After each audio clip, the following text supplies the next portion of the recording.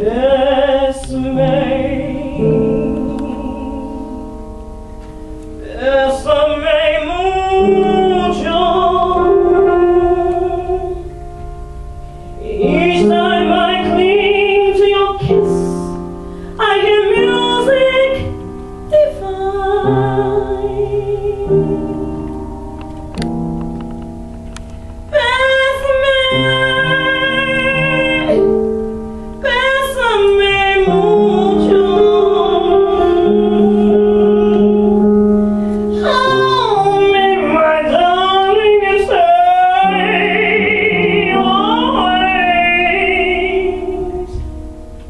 Thank